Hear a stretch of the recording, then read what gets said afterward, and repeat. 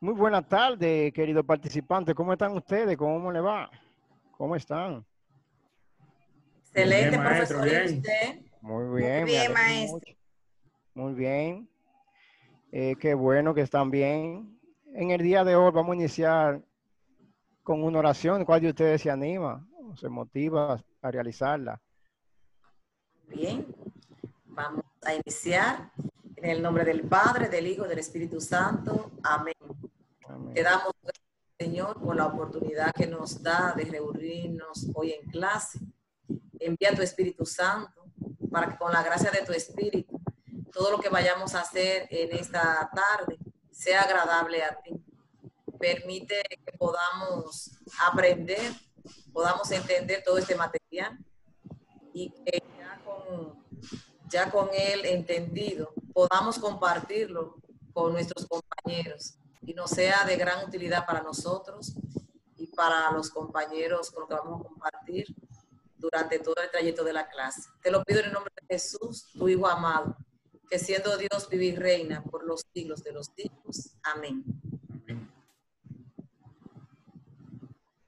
Amén. Muy bien.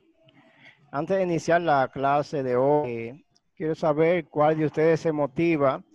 Eh, ¿Qué impartimos en la clase anterior? ¿Quién se acuerda de ustedes? Maestro, en la clase anterior trabajamos el tema de lo que es error del estudiante. En la clase usted mencionaba que ya el estudiante pasó de ser un receptor a ser un administrador de su tiempo y a ser un administrador de su espacio de aprendizaje. Muy bien, muy bien, pero como hablamos del rol del estudiante, hoy vamos a hablar del rol del docente en la educación virtual, en el cual eh, eh, los integrantes que van a actuar hoy como, como alumno es eh, un servidor, Nicauri Reyes, Verónica Valdemora, Ana María Suer y José Miguel Enrique. Vamos a hablar de, del objetivo de la clase de hoy. Al finalizar esta presentación, eh, los estudiantes tendrán la capacidad de conocer, de conocer el rol del docente en la educación virtual, así como en las diferentes competencias que debe de poseer. Como lo hablaba, vamos a hablar hoy del rol del docente.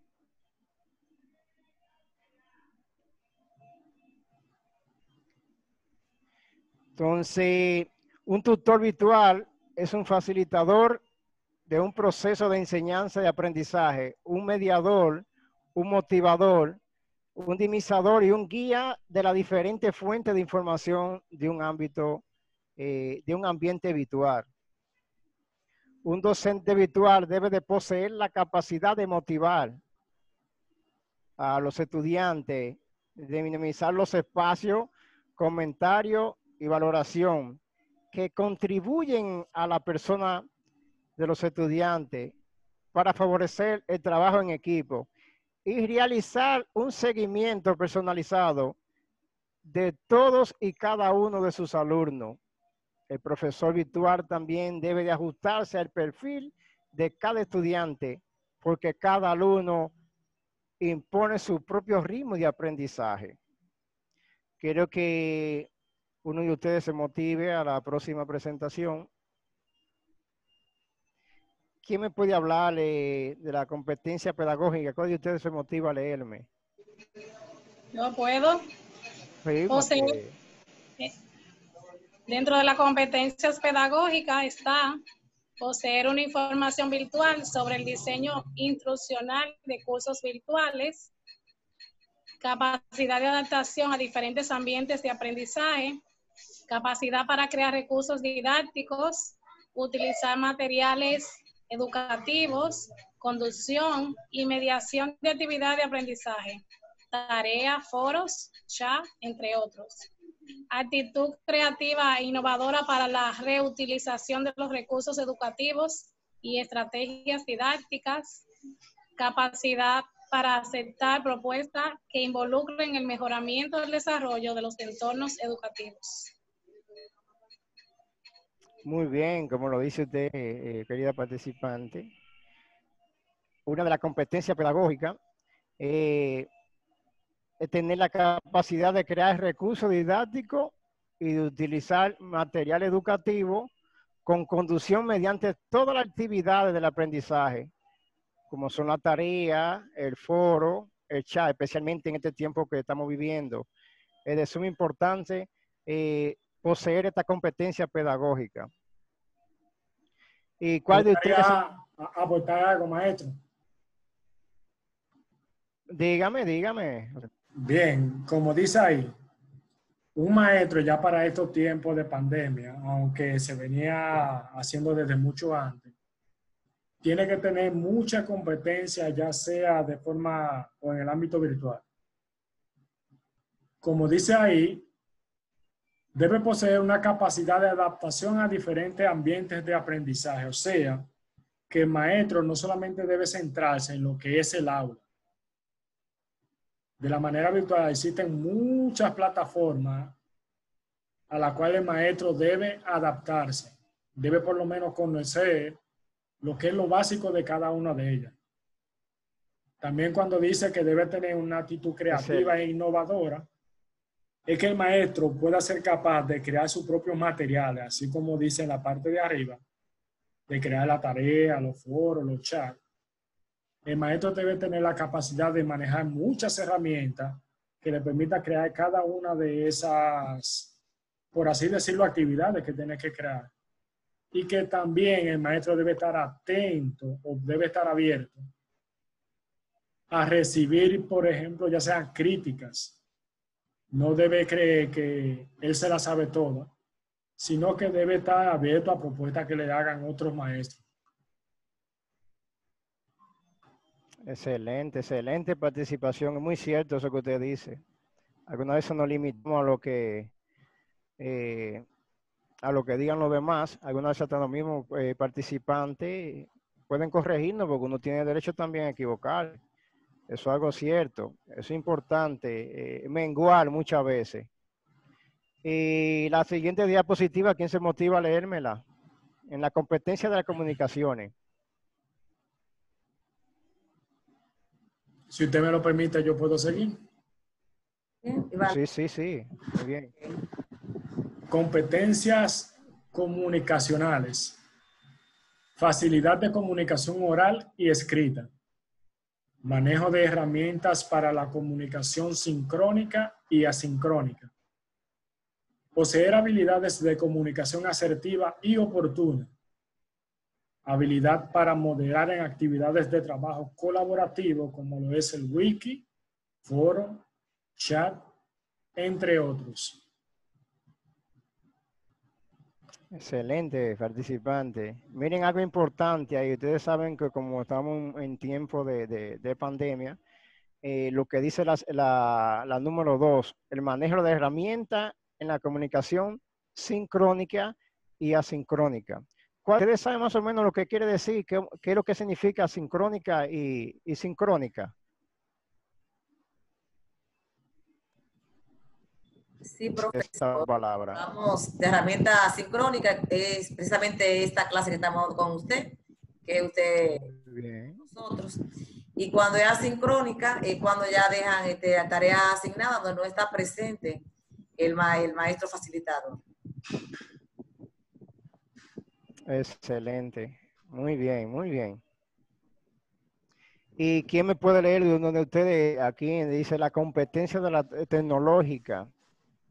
¿Cuál es la función del docente eh, en la competencia tecnológica? Continúo entonces, profesor, diciendo. sí, sí, sí. Habilidades y conocimientos sobre la utilización de las TIC en la educación. Conocimientos en uso de la computadora, software y aplicaciones web.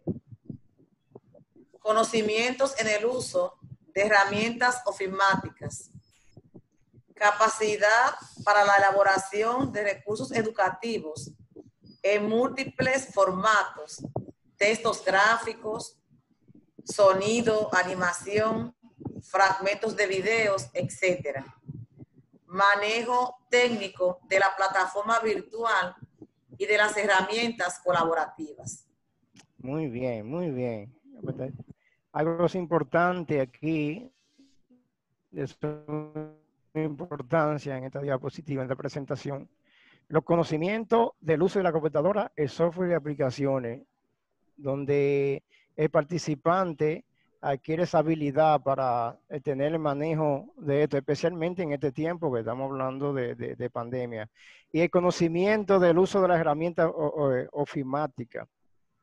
Y que el estudiante eh, logre la capacidad también de la elaboración de los recursos de múltiples formatos, tanto como el texto, gráfico, el sonido, animación y el fragmento de video, etcétera. Y también el poseer, el manejo de la plataforma virtual y de las herramientas colaborativas.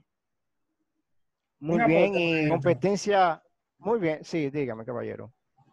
Bien, eso podría decir que vendría siendo casi similar a lo que estaban hablando en las diapositivas anteriores, que es que el maestro debe tener un conocimiento, aunque sea básico de lo que es, por decirlo así, informática.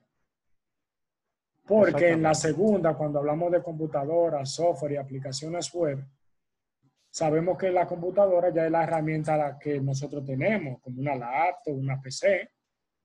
El software vendría siendo los programas y las aplicaciones web, como ya estamos trabajando con lo que es la internet y todo eso, vendrían siendo prácticamente los exploradores que utilizamos, como el Chrome, el Internet Explorer. Cuando nos habla de, la herramienta ofimática, es que por lo menos mínimo el maestro debe aprender a crear documentos en Word, crear presentaciones como esa que usted creó ahí, chulísima, crear hojas de cálculo y cosas así. Exactamente. Y más, como estamos en tiempo de pandemia y no se permite la clase que es presencial, el maestro debe tener dominio de, de múltiples plataformas. Por ejemplo, como la que usted utiliza con nosotros, que es la, la Classroom, que es una plataforma que a usted le permite asignarnos la tarea y nosotros poder enviársela y todo eso. Y en Google Doc usted nos puso la tarea colaborativa, la anterior. Entonces, un maestro tiene que tener dominio de todo eso.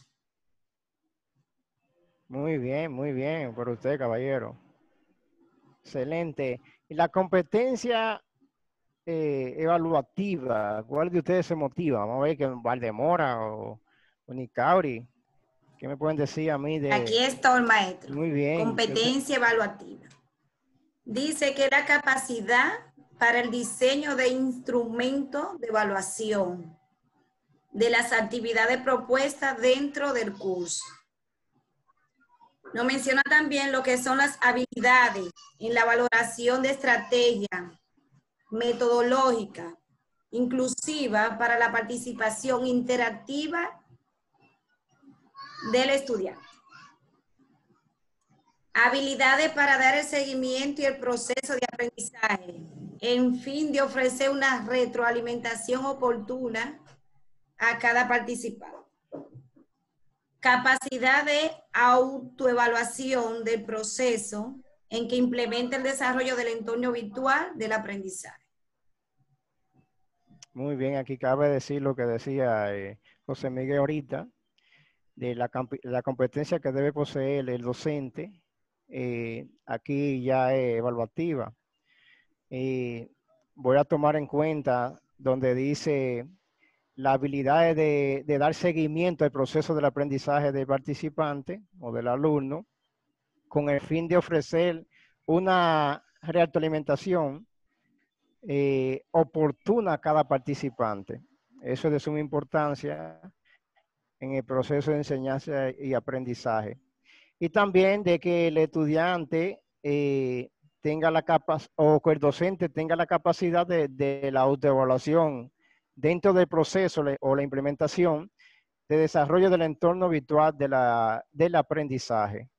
Eso es algo importante también, que el docente eh, posee eso.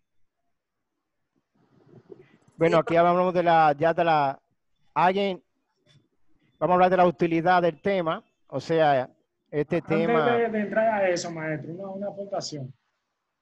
sí, sí, Vean, aunque el maestro tenga, vamos a decirlo así, que tenga dominio de la informática y cada uno de esos, el tener conocimiento de informática no significa que tú vas a ser un excelente maestro. ¿Por qué? Porque el maestro tiene que saber qué metodología va a implementar, con qué herramienta, para poder lograr lo que él se propone con sus estudiantes. O sea, maestro, que no es el simple hecho de yo escoger una herramienta por escogerla, exactamente, eso es cierto. sino que tiene que escoger la herramienta que me permita a mí lograr aquello que yo me propongo con mis estudiantes. Eso es muy cierto. Entonces, después de eso, yo puedo hacer mi propia evaluación. También puede permitirme evaluar todo lo que hagan mis estudiantes. ¿De acuerdo? Que no es simplemente el hecho de que, de que el maestro tenga conocimiento de informática. Tiene que haber un balance en lo que es la metodología que yo tengo que utilizar o la que yo puedo utilizar, con qué herramienta, qué herramienta me va a facilitar a mí ese proceso. Muy bien, muy En bien. el mismo orden, maestro, como mencionó mi compañero José Miguel, un maestro tiene que saber el proceso que debe de llegar. Como por ejemplo lo que usted hizo en el inicio, maestro, que usted hizo una retroalimentación, ¿no verdad? Oportuna, para saber lo que tratamos en la clase anterior. En cuanto después de la retroalimentación, de una forma bien clara, también presentó su tema. Esos son procesos que se deben de dar en el, trayecto, educativo, en el trayecto de la, de la educación, aunque sean virtual. Hay que hacer cada uno de esos pasos. Es cierto. Muy Claro cierto. que sí. Y me gustó mucho, sobre todo en este material, eso de ser la capacidad de autoevaluarse. Eso es un elemento que tenemos que tener siempre bien claro. Se debe tener siempre bien claro. Cuando yo soy capaz de autoevaluar, pues cuando me evalúa otro, eh, yo puedo tender a que los resultados sean no lo correcto, pero cuando yo misma soy capaz de autoevaluar y ver si esos procesos se van implementando de manera este, correcta, entonces definitivamente el éxito está asegurado, porque yo voy a trabajar, ¿verdad? Yo soy capaz de ir viendo este, mis propias debilidades o mis propios logros alcanzados y me va a dar entonces a mí eso la competencia de ir trabajando día a día y el éxito de esa manera va a estar definitivamente garantizado. Muy bien, muy bien. Eh, dice que la utilidad de este tema, en este tema, no serán de, grado, de gran utilidad en el momento en el que se den inicio de la clase, en este momento. O sea, no será de gran utilidad al inicio de este nuevo año escolar. Con estos conocimientos adquiridos podremos identificar qué es lo que nos compete a nosotros como docentes y de igual manera nos ayuda a conocer cuáles son las competencias que debemos de tener o adquirir para poder desempeñarnos de una manera efectiva en nuestra labor docente. Muy bien, queridos estudiantes. Eh, quiero saber que en este día, en esta clase que, que impartimos, qué ustedes aprendieron, eh, qué fue lo más importante para ustedes del tema. Pues quiero saber más o menos qué, qué mal impactó del tema a cada uno de ustedes. Brevemente. Maestro, en este tema de sumamente importancia, además en estos tiempos de pandemia, y en realidad que tenemos que cambiar ese enfoque que tenían y cambiar, poner un chi nuevo, como dice el cuento. Eh, nos damos cuenta que debemos de implementar diferentes competencias, como son la competencia tecnológica, la competencia comunicativa, entre otras. Muy bien, y en nuestro diario vivir, eh, participante, ¿cómo lo podemos utilizar esto? Bien, maestro. Cuando usted se refiere a, a nuestro diario vivir, también se refiere a lo que es nuestro ámbito laboral, que ya se enfoca en lo que es la educación. Exacto. Entonces, ¿en qué nos ayudaría esto? En que como decía una de las diapositivas que estaba, nosotros tenemos que autoevaluarnos, pero de una forma sincera para saber en realidad qué yo domino y qué no domino, qué debo fortalecer y qué debo seguir implementando. Porque a mis estudiantes yo no puedo utilizar una herramienta que yo no la domine. Entonces, si yo no la domino, ¿cómo los estudiantes van a dominarla? ¿Usted me entiende? Exactamente. Entonces, esa es la utilidad que nos sirve. Nos permite enfocar a nosotros qué es lo que debemos dominar, cómo debemos dominarlo para así poder lograr nuestros objetivos. Muy cierto, muy bien. Eh, muy bien, de verdad, toda su participación. El tema fue... Valdemora quería decirle algo también. Ando muy bien, Valdemora. Así es, eh, digo, siguiendo lo que dice José Miguel, que debemos tener la capacidad de autoevaluarnos porque eh, en este caso que no, vamos a implementar con la pandemia, vamos a tener que poner en práctica nuevas herramientas. Y en la medida que nosotros vamos autoevaluándonos, vamos a saber que, cómo vamos a llegar a los estudiantes, aún sabiendo que ellos deben dar el 90%. Ahora, ¿cómo llegar a ellos para que ellos puedan entender y, y sacar el trabajo adelante como se requiere? O sea, debo crear yo esos recursos educativos cuáles serían más factibles. Entonces, en la medida que voy haciendo esa autoevaluación, voy a saber cómo va mi progreso. claro muy que bien, muy bien. sabiendo eh, que el perfil del nuevo docente es ser guía. Entonces, si yo soy guía, se supone que yo debo saber recorrer el camino. Entonces, en ese sentido, este mundo virtual donde se nos, se nos coloca, ¿verdad? En este nuevo tiempo, para poder entonces cumplir con esa, ese propósito de ser guía, yo necesariamente tengo que fortalecer esos conocimientos para poder servir de soporte a mis estudiantes. Entonces, en ese sentido, eh, como se está hablando y hemos caído mucho en cuenta sobre lo que es la importancia de la autoevaluación, yo voy reconociendo mis debilidades, entonces voy fortaleciéndolas para poder de manera efectiva ser ese guía que el estudiante eh, realmente necesita, sabiendo, ya en el tema que hemos venido viendo, que el estudiante también es autogestor de sus conocimientos. Entonces, con mucho más razón entonces, si el docente es guía con alguien que se está autogestionando, entonces debemos comenzar a entrar verdaderamente en ese tren del aprendizaje. Muy bien, excelente, muchachones. Como anteriormente, antes de iniciar el tema, hablábamos de la, del rol del estudiante, que fue la clase anterior. Hoy en, eh, este tema tan maravilloso hablamos del rol del docente. ¿Cómo tal el rol de los padres eh, en la educación? Ya ustedes saben, será de una próxima entrega, que Dios me le bendiga y me lo guarde. Y se me cuidan por ahí, que ustedes saben que estamos en tiempos de pandemia y debemos de, cuidarnos.